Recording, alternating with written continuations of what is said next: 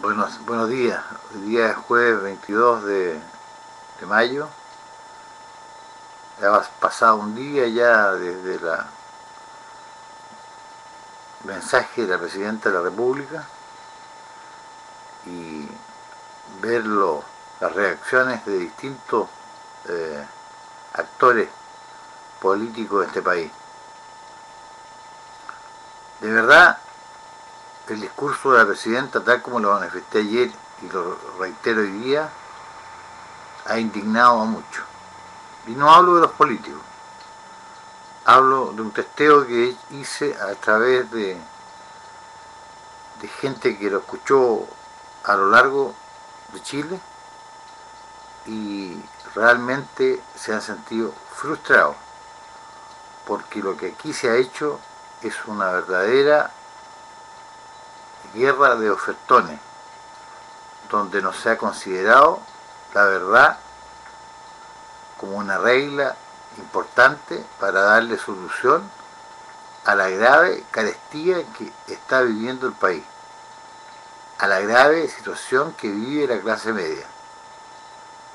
Aquí no se ha hecho absolutamente nada.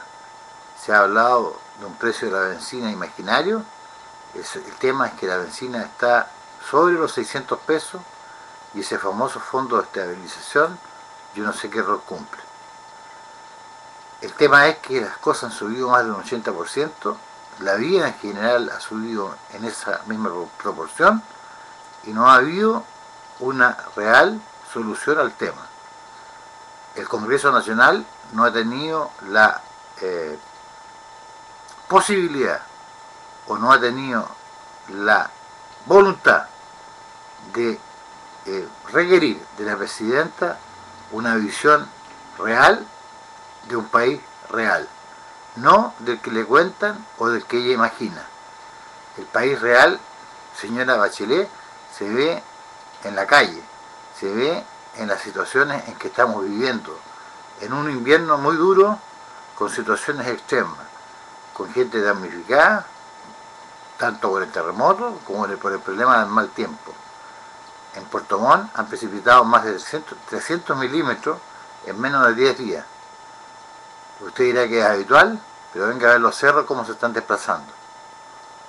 Entonces, hay gente en situación de calle que no puede esperar. Hay gente que no le alcanza para vivir ni 15 días, por lo que lo, que se esperaba por lo menos es que usted ayer ofreciera o diera, porque le pertenece esa plata a todos los chilenos, un, una, una, un alza extraordinario en los sueldos de los que ganan menos de 500 mil pesos, de a lo menos un 20 o un 30%. A todos por parejo. Pensiones asistenciales, pensiones de todo tipo, todo. Sin después encontrarse con que dice que dar un bono de 20 mil pesos y ese bono tiene distintas condiciones. Que tenga más de 65 años, que tenga esto, que tenga lo otro, que tenga aquí, que tenga allá y el resultado es que todos estamos pasando dificultades. Todos. Todos están pasando dificultades. Entonces yo hablo por todo ello. No es que me arrogue ese derecho, sino que yo, yo digo lo que veo. Entonces eso es lo que correspondía. No el, el, este, esta visión de un Chile futurista, pero en el cual lo que estamos viviendo hoy día estamos mal y hay gente que está más mal que uno, la cual uno ve. Y eso hace que en este momento yo diga no más.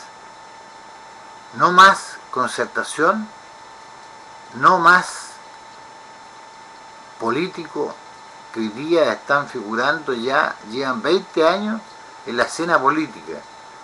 Otros ya llevan 50.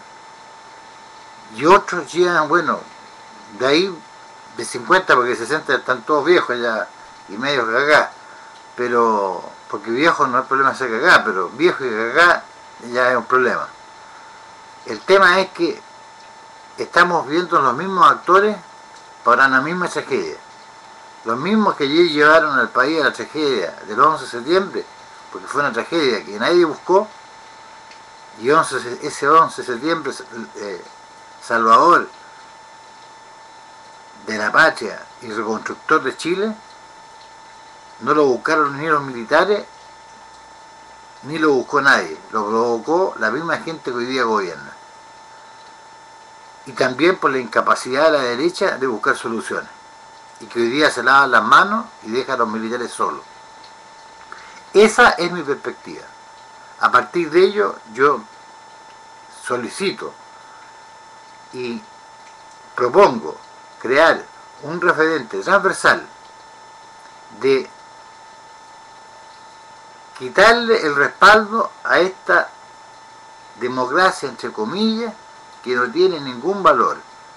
Esta gente que hoy día representa a Chile,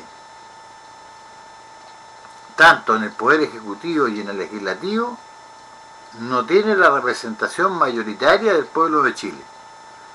Y yo pido a la gente que en las elecciones de concejales y alcaldes, no le digo que no voten, voten, pero ojalá que los que salgan electos, salgan electos con una minoría, que los que no voten, que los que se abstengan o anulen el voto, sean la mayoría, para demostrarle un repudio a la clase política, aquella misma que a través de las encuestas indicadas como una, una, una eh, clase que es repudiada por la gente, que no es creíble, que no eh, da soluciones y que realmente ha sido tragicómico lo que ha pasado con ellos.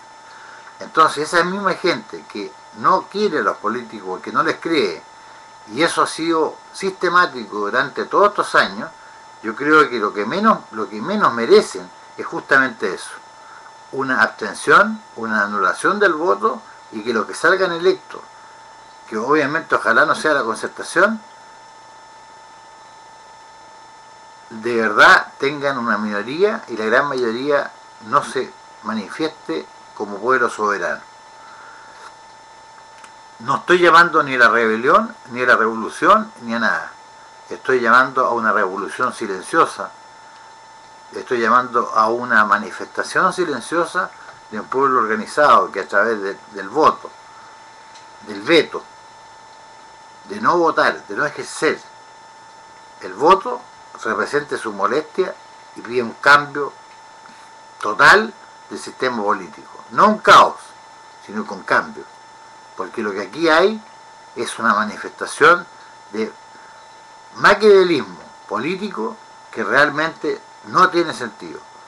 El gobierno acusa a la oposición de usar la, la calculadora, estoy de acuerdo. Pero el gobierno también la usa. La usa porque con, calculadora en mano quieren reformar el binominal para darle la posibilidad al Partido Comunista de estar representado en el gobierno y lo apoye con más fuerza en su campaña del, 2009. Quieren mantenerse el poder, en el poder a toda costa. Le quieren dar voto a todos los que están en el, exterior, en el exterior y todos sabemos que todos los que están en el exterior reciben la mugre, la escoria de noticias en contra del gobierno militar y cosa de ver cómo uno es insultado a través de todas las cosas que se le dicen en los sitios que sube. Y cómo en algunas partes nos cierran eh, sitios porque están influidos por una izquierda mentirosa. Basta ver los que están exiliados en Suecia, que la mayoría, no quiero calificarlos, pero sabes quiénes son. De tal manera que aquí por ambos lados utilizan la calculadora en mano. Yo creo que Chile merece un destino mejor. Y por ende, y remato con esto. Yo exijo y pido que haya una rectificación en la política. Como chileno, como un derecho, como, con chilenos con derechos constitucionales. Y que haya un recambio. Pido que haya un movimiento organizado, nacional, de Arica a Punta Arena, a lo largo y ancho, que lo organice quien quiera, pero un movimiento ciudadano que demuestre que estamos ya aburridos de esta eh, suerte de meternos del dedo en la boca. Aquí no, no hay soluciones reales para la gente. La gente está con graves problemas y graves carencias. Y esto tiene que terminar. Muchas gracias, muy amable y espero que esto sea considerado.